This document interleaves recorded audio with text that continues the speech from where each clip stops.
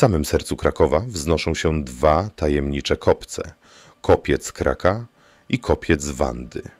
Czy kryją one zapomniane sekrety dawnych królów i świadectwa istnienia przedchrześcijańskiego państwa na polskich ziemiach? Dlaczego od lat unikamy ich pełnego zbadania? W tym filmie odkryjemy mroczne historie, które skrywają te starożytne struktury i zbadamy, czy klątwa dawnych władców mogła wpłynąć na losy tych, którzy próbowali je odkryć. Legenda głosi, że kopce te usypano na cześć wielkiego króla Kraka i jego niezłomnej córki Wandy. Ale czy są to jedynie bajki przekazywane przez pokolenia? Kopiec Kraka, mierzący 16 metrów, i kopiec Wandy o wysokości 14 metrów wznoszą się nad miastem niczym niemili strażnicy zapomnianych czasów. Oficjalna nauka od dawna unika głębszych badań tych struktur, jakby obawiała się, że otworzy wrota do przeszłości, której nie da się już zamknąć. Czym naprawdę są te monumentalne kurhany? Śladami przeszłości, która została zapomniana czy celowo wymazana. W 1936 roku dr Józef Żurowski miał przekopać kopiec Kraka w całości. Nieoczekiwana śmierć przerwała jego pracę, gdy zmarł po błahej operacji. Czy to tylko przypadek? Czy może klątwa pradawnych królów wciąż czuwa nad tym miejscem? Czy jego następca, dr Roman Jakimowicz, zamknął projekt z obawy, że podzieli los Żurowskiego? To pytania, które wciąż pozostają bez odpowiedzi. Po tej tragedii kopiec nie był już nigdy badany. A kopiec Wandy? Ten nigdy nie został nawet naruszony przez narzędzia archeologów, jakby istniało niewidzialne tabu, które chroni to miejsce. Kopce te kryją jednak znacznie więcej niż mogłoby się wydawać. Związane z nimi są tajemnicze zjawiska astronomiczne. Stojąc na kopcu Kraka 2 maja lub 10 sierpnia, można zobaczyć wschodzące słońce nad kopcem Wandy.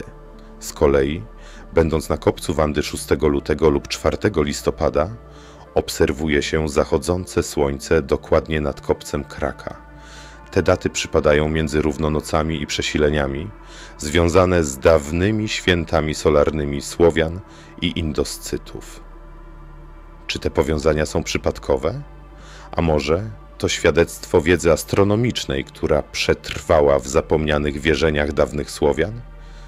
W kronikach historycznych imię króla Kraka i jego córki Wandy pojawia się nieraz. Od Wincentego Kadłubka po Jana Długosza, od Marcina Bielskiego po Kosmasa, praskiego kanonika. Wzmianki o tych postaciach przetrwały wieki. Czy to tylko legendy? A może ukryte w tych kronikach ślady prawdziwej historii?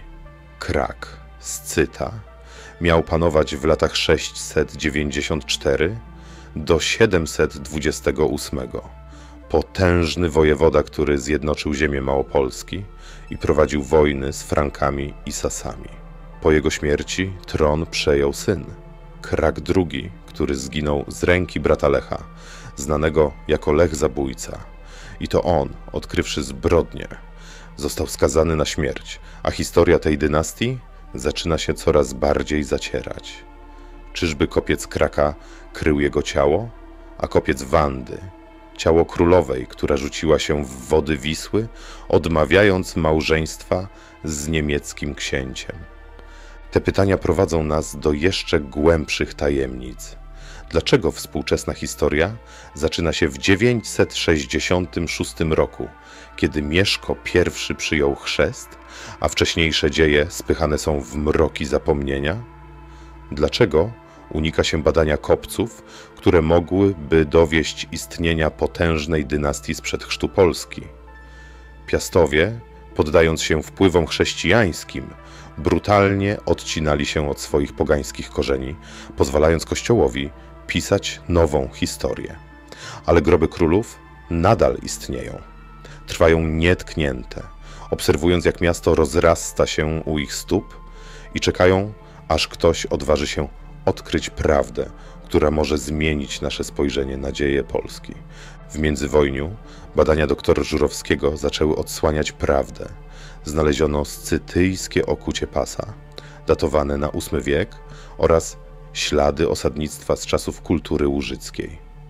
Wszystko wskazywało na to, że kopce rzeczywiście mogły być świadectwem dawnej potęgi Kraka.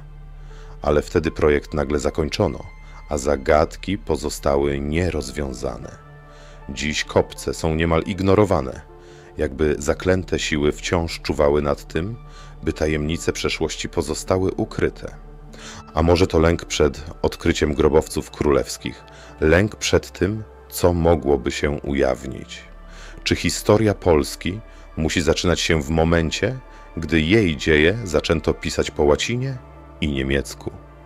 A może prawdziwa historia sięga znacznie głębiej, w czasy, które archeologia wciąż unika badać? Kopce Kraka i Wandy wciąż milczą, a ich prawdziwa tajemnica pozostaje nienaruszona. Jeżeli interesuje Cię historia Polski, to zachęcam do obejrzenia mojego kolejnego filmu, w którym przedstawiamy powiązania między pierwszymi Słowianami a Jafetem, synem biblijnego Noego. Nie zapomnij zostawić łapki w górę oraz zasubskrybować kanał.